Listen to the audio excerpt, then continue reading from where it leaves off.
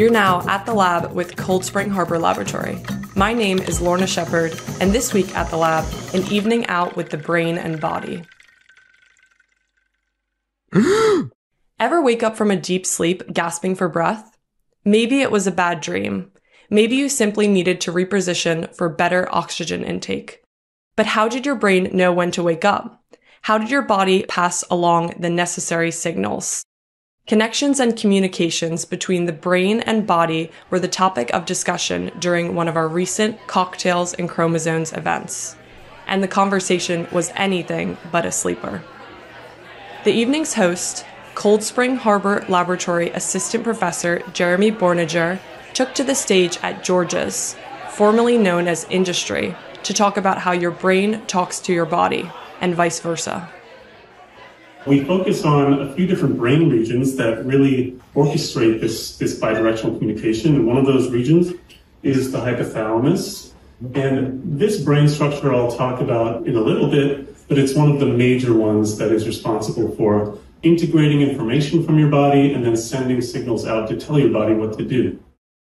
But how does your brain sense what's happening in the first place? You have millions of sensory receptors in your body. Some tell you that that pepper you just ate was way too spicy. Others let you know when something's hot to the touch.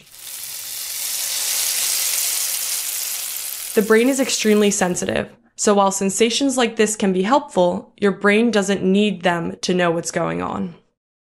The brain actually senses things itself.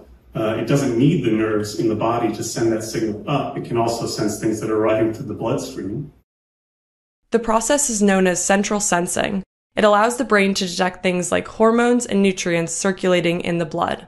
The brain uses that information to regulate things like hunger, metabolism, body temperature, and more.